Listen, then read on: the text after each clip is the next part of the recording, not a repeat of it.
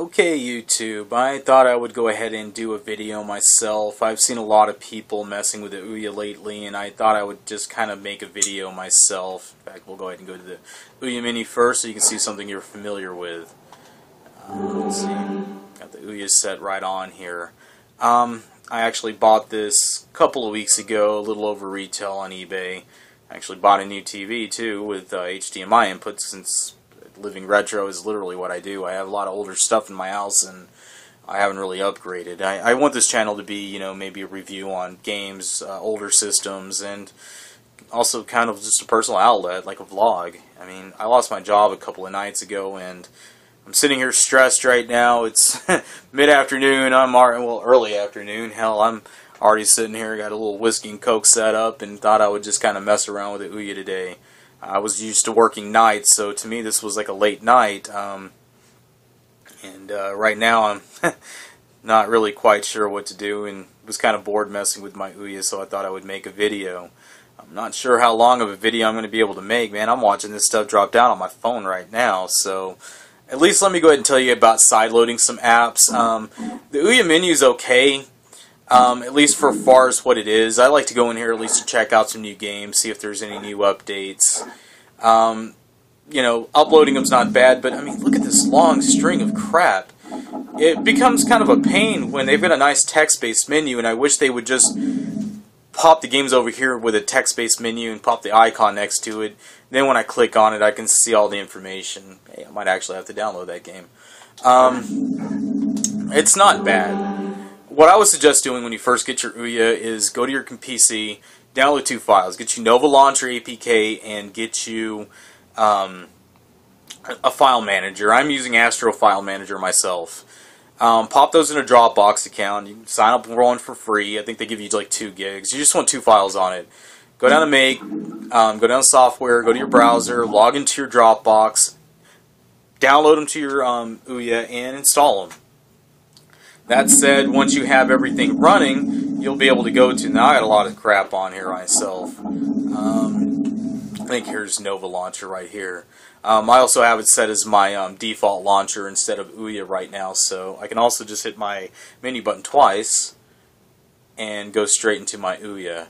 Um, this is what I'm using right now currently. I like the Ouya specifically because you know I can make uh, folders for everything I'm kind of using and uh, keep the uh, the home screen clean. You know, here's all my Ouya games. Here's some emulators.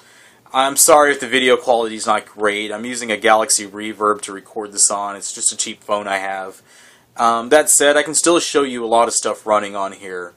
Um, now, as far as my setup on here, I've got a couple of widgets. I'm using beautiful widgets up here. This is um, I have my desktop my desktop, my home screen set is 6x6 on here rather than the, uh, I think it's 4x4 originally standing. Um, so I've got this stretched out to 6x1 even though it's a 4x1 um, widget. Um, got, got the date, got the time, got local weather. Um, I believe I'm using Minimalist Styles Black is the widget, is the um, skin I'm using on the widget as well as Onyx for the weather. You can also go come up here and click on the weather and get a nice full screen display of your current weather and what it may be like. Like, oh look, looks like it's going to storm today. Uh, let's see. Uh, this is a Glass Widget's RSS feed. I've got it set to a local newspaper, so I can check out local um, news feeds and um, scroll here on one side to go up and scroll on the other side to go down. I can click on the OA to bring up my um, browser. I also have Chrome installed on here. I just put this on a couple of days ago. I don't even think you can see that, but I'll click on just once and we'll bring that up and see I'll show you one of my kind of dislikes about using Chrome on here. Um, okay, um, there's a local news feed. I can you know read about a uh, what is this a local music store and um, so we can scroll back out of this from Google Chrome. I have to actually click out of the tab until I've got this black screen and then I can hit back once, uh, the A button, and it'll take me out of it. Um, I've got quite a few different applications installed on here.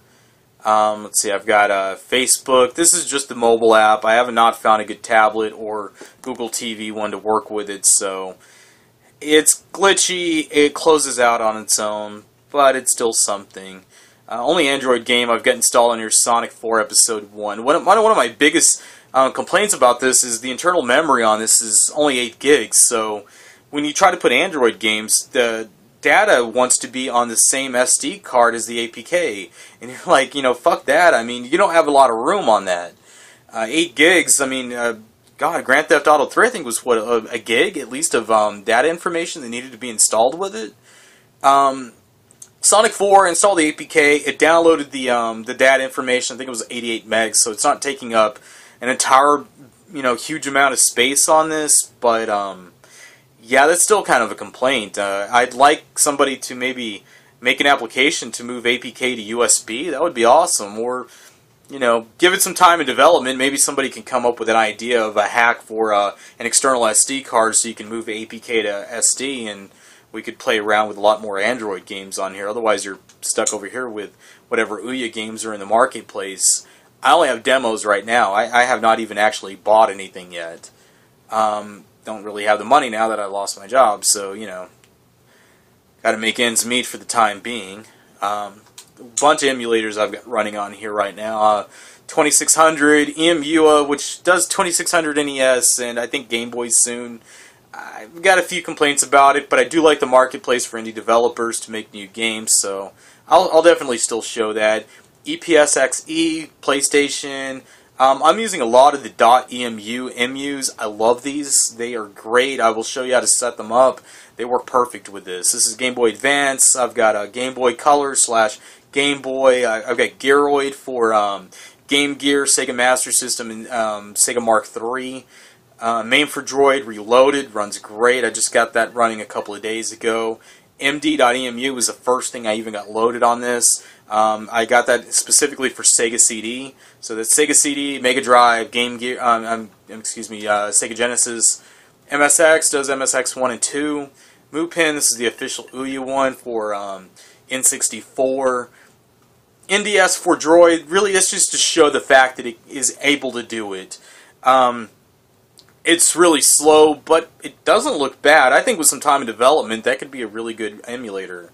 Um, Neo.emu for um, Neo Geo, that actually runs the MVS carts, not the AES home cards, so it's running the arcade ones. I believe it takes MAME.144 ROMs.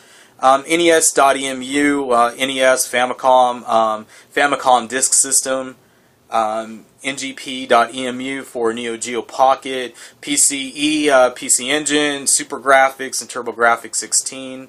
RetroArch, the couple I'm using on that, I'll show some downfalls I don't like of this is so far. The Ouya controller is in um, testing with it right now, so uh, Final Burn for uh, Capcom PlayStation 1 and 2 and Virtual Boy. And SuperGNES, uh, that's the uh, official one from Ouya. I actually use that on my phone. Damn good emulator.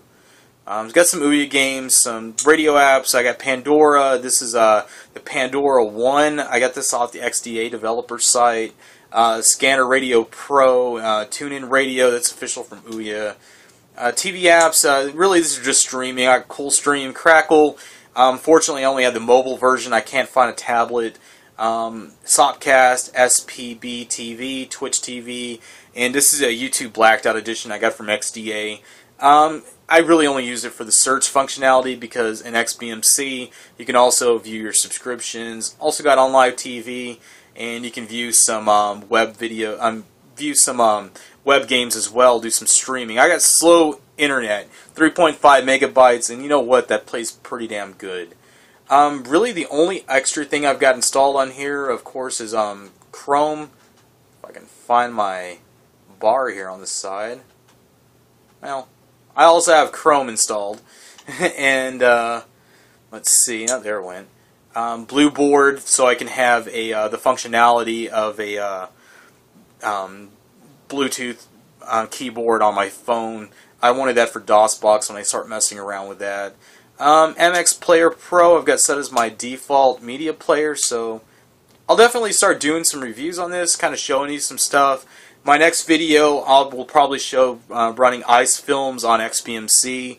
So um, stay tuned. Aphex Zero actually did one on getting the XBMC hub to run an XBMC. and he was showing Pandora running. He posted a link to the forum. I'll post a link as well. Also post a link over to his channel so you can view some other stuff running on this as well.